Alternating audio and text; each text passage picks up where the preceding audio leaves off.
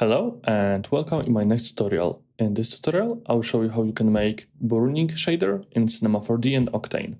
Let me first show you my scene I have here. So in the settings, I have just path tracing kernel, quite low samples, and quite low samples for the diffuse and specular, and few other stuff that just help me with the animation, like the adaptive sampling and static noise so those settings were optimized for this small animation. And here's really important stuff. We have bloom and just make sure it's a bit cut out so it doesn't blow off the white color from the background. I just want to have glow on the fire itself. And here we have this simple shape. I just make a spline in uh, Illustrator. It's because uh, I feel more confident there with uh, vectors than with the splines in the Cinema 4D. So I just make this simple shape and just use the, the sweep to make it solid. We have HDRI here, which looks like this. We have plane, of course, for the ground with simple material here. And we have, of course, the camera. And that's it for my scene here. Now we can start making our burning shader. I will start from getting rid of all of those extra stuff I have here. So I will delete material, vertex maps, shader field and I have just clean object without anything. Also make sure the density of the polygons is something like this. It can be also triangles or n-gons. Just make sure it's quite dense to make sure it's nice quality.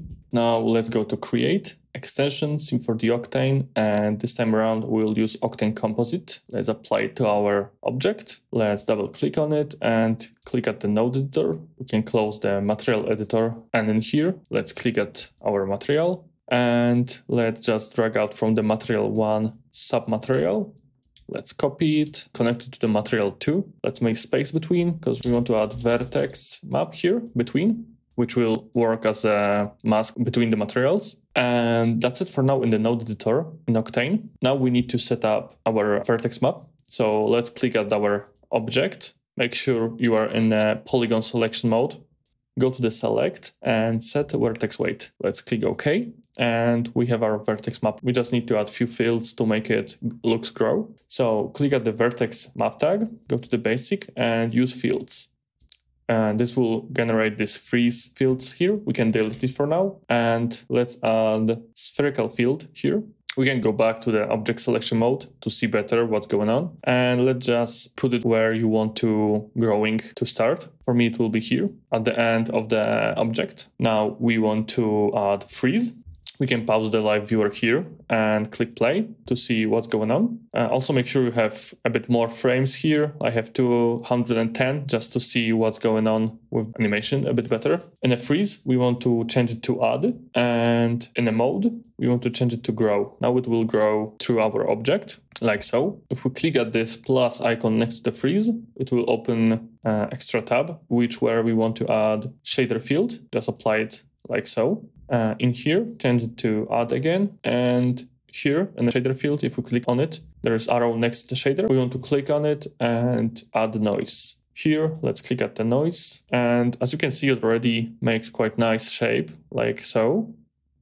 We can use whatever noise we want. For example, maybe electric looks fine. And we can change the animation speed if we want to, to one which will kind of make sure uh, those small patches are filled with the time because it will just change the pattern of the noise and eventually fill those gaps. Right now the animation is a bit slow, like we don't go all the way up to the end in time. So we can click at the freeze and change the radius to 20 centimeters and it will be way faster, probably even too fast for now. I can leave it at 15 centimeters, which looks fine and all those patches are disappearing, which is really good. Uh, we can now go here and we need to duplicate it. But before we do it, let's go to basic and change the name to growing. And here Let's right click on it and let's add it to the new layer just to make sure we don't mistake them. Now let's copy it. Let's add it to new layer. And if we go here to layers, we can change the colors like so of those two layers just to make sure we can tell which one is which like so. And in this one, in the basics, we want to change the name to growing delayed. And uh, let's go back to the fields here. We can get rid of all of those stuff and uh, growing delayed and just drag in the growing here like so. So we don't have copy, we actually just using this one. And let's just add delay after it. And let's make sure it's on smooth and probably 20% is fine. We'll adjust it in a bit in a, in a live viewer. So yeah, we can just unpause the live viewer for now. And now let's go back to our node editor. Let's click at the material and node editor. And to make sure uh, everything is working, first in the diffuse, we can change it one material to red and second material to green to see the difference. And nothing is happening. It's because we didn't add vertex tag to vertex map. We want to add the growing here and we can see the growing now. If we pause it right here, we can see it's a bit smooth. We can make sure it's a bit more sharp by adding gradient after it. And we can just squeeze it in here like so. And you can see it's already sharp. Now let's change both materials to universal and GGX energy preserving in the basic. Like so. It's just the best settings to use any materials. And we can change this material, which is the green one, to metallic. This looks really great, but let's make it something like this. Uh, of course, you can use whatever material you want. I'm just going with something that is really visible with all those noise. And here I will go with similar material. Just let's see. Let's make it darker, more roughness, and make it even darker. Yeah, something like this. Maybe even more dark and more rough, like so we now want to add the burning shader between. So everything will be done here in the emission of the of this black material. So let's drag out from the emission texture emission. We want to add here vertex map. And here we want to add growing delayed vertex map like so. Let's apply it to the texture here. And from what I remember, I need to I need to invert it like so. Uh, I'm doing it with the gradient so I can adjust it a bit more later on. And in the distribution, we want to add RGB spectrum. And here you can add whatever color you want. For me, it will be really warm orange, like so. And as you can see, we already have the line here. And if you click play, we have this nice fall off of the of the heat or burning effect. But if we uh, pause it, pause it, and just refresh it a few times, you can see the, the growing delay is catching up to the normal growing. And sometimes you just want to uh, adjust the settings. And in this case, you can do something like this. Just hit play and just wait for a bit. And for example, this looks fine.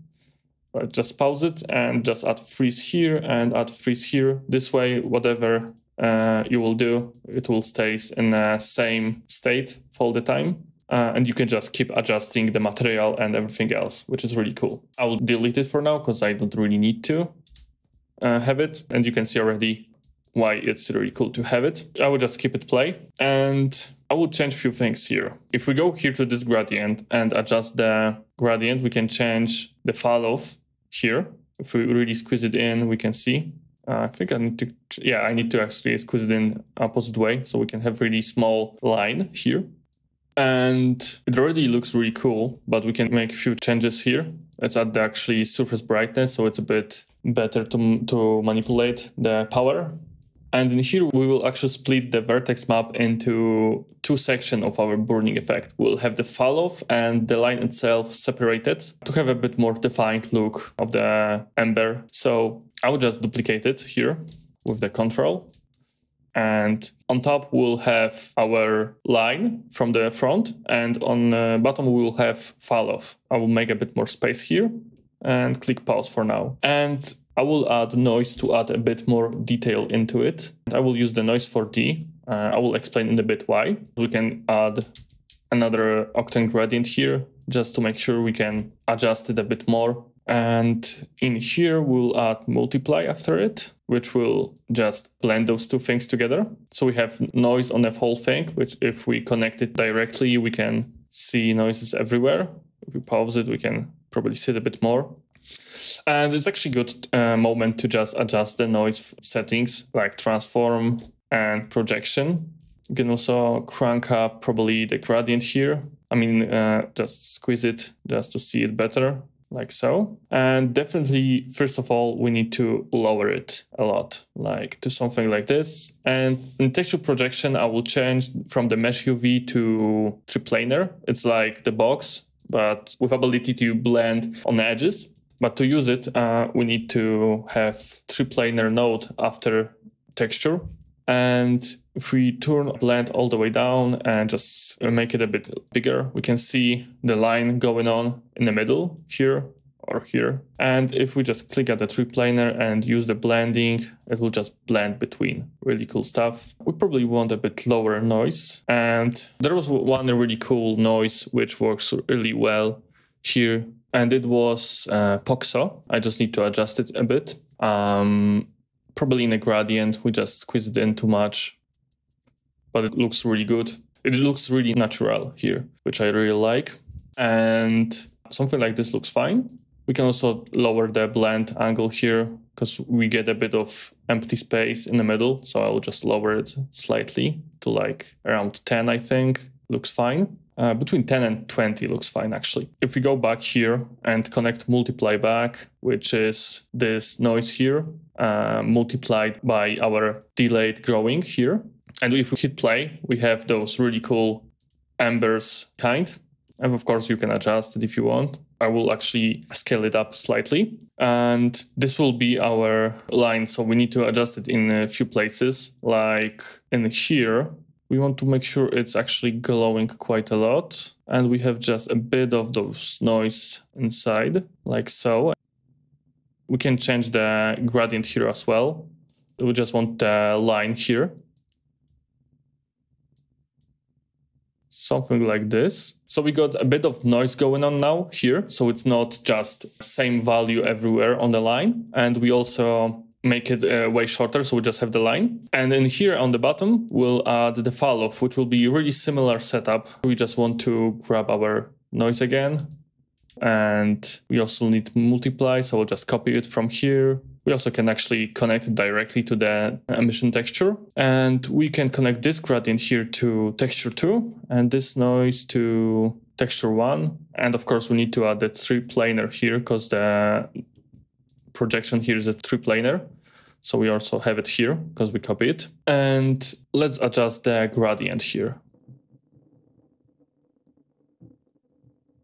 I think we can leave it at the full, so it's like really long we'll just adjust the gradient here actually and the noise.